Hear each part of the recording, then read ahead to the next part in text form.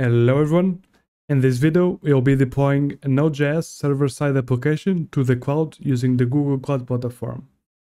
And I've built this application and now I'm ready to ship it to the clouds. But first of all, let's just explore what this is. So this is a very simple application where it, we have one endpoint and it's a health check. So that's how we're gonna check that the application has been deployed.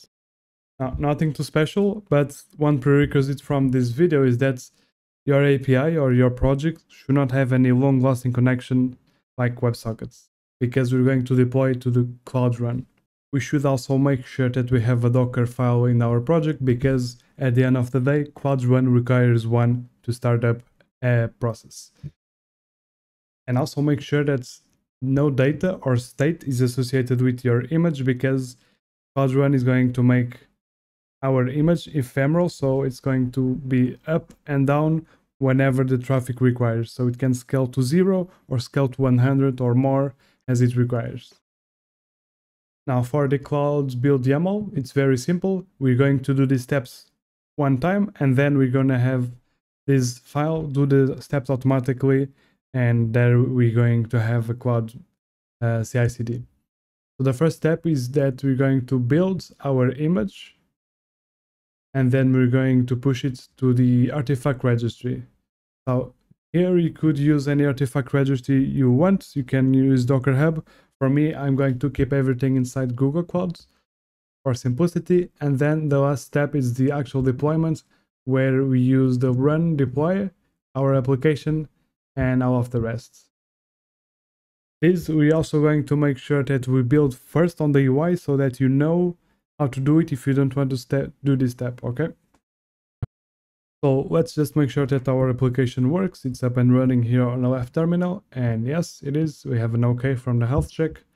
So the next step is actually build the application. I'm going to Docker builds and pass this flag because I'm using an ARM chip. Okay, so it's built. And the next thing we need to do is tag it. Docker tag and this is it. So the structure here I'm following is this one. You can follow this here or follow the documentation that I've linked below from Google.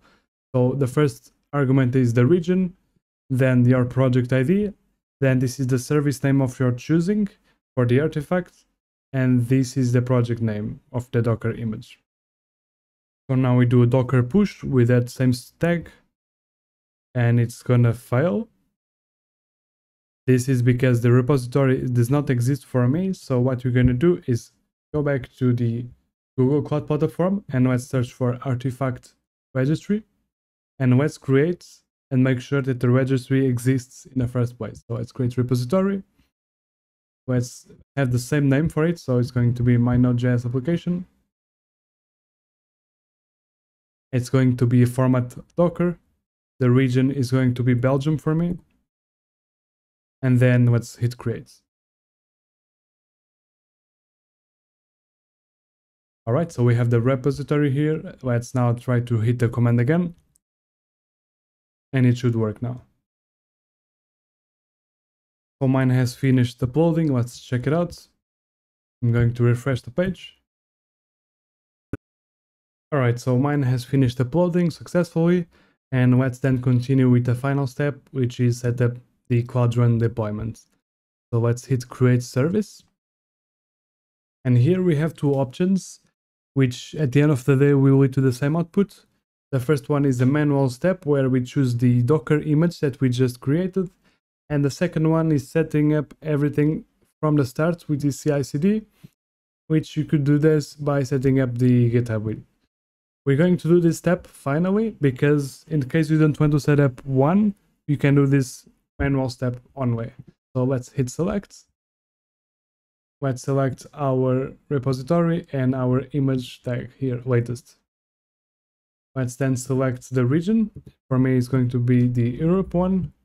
And here, it's very important, the auto scaling. One of the main features of Cloud Run is that it can downscale to zero in case it doesn't have traffic, which then you can save costs by not having the server running. So if you have a small project, it's fine. If you have a big project, it's also fine because it can scale to a lot of instances as well. And you can also have cold starts, which might be a problem if you have a very high traffic application. So for that, just set up some numbers here. For me, it's fine. It's a small service. 0 to 10 is fine.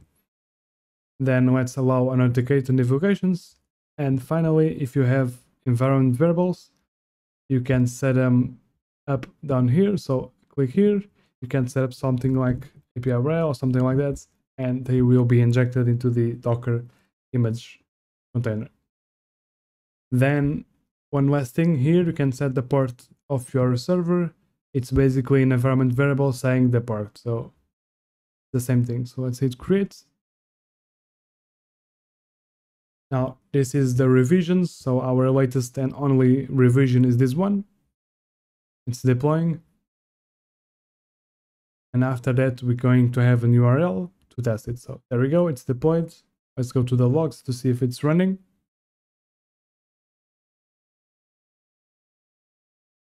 And there we go. So we have uh, the application running on port 8080. Let's copy our URL and actually test it. So I'm going to curl it to the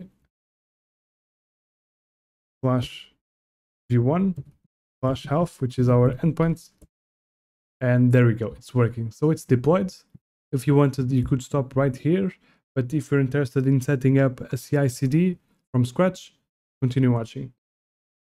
So ideally, in theory, if you wanted to make any change to our application, for example, here I made some changes. I set up the, I changed the message to up and running instead of OK. And if we wanted to do another deployment, we can do this manually, which would happen that we would do the steps again. So we could do the Docker builds and then the push. And then here we would edit and uh, set up a new revision. And the only thing you would need to do is select here and set up the new tag of the image. In this case, if it were the latest, you don't need to do anything. Just hit create and it would deploy with the new latest image. If not, just select another one. Now, to set up a continuous deployment, you just head up on this button here, and you're going to link this to your repository. So I've chosen my repository, and I'm gonna hit next. Now the build configuration is where is the main branch and where should the Google watch for changes before triggering any deployments. For me, it's going to be the main branch, and the build type is going to be a Docker file. Let's save. And there we go. So call trigger is being set up. Let's go there and on the builds. So here on the build, this is our one. Let's check it out. So there we go. We have our three steps, which is the build, the push, and the deploy that are on our cloud build. So there we go.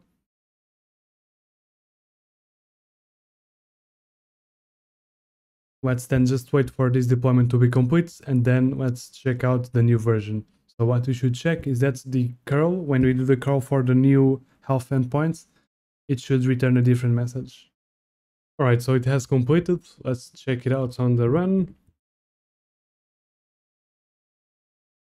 And we should have a new revision deployed. Let's go to revisions and we have a new one. And let's actually just test it. So let's go. And there we go. We have the new message up and running. Awesome. So guys, this is it. If you want to deploy your Node.js or any type of application, can be Go, Java, whatever, can deploy it to the Cloud Run. And this is how we can set up a CI/CD as well. So hope you liked it and see you on the next one.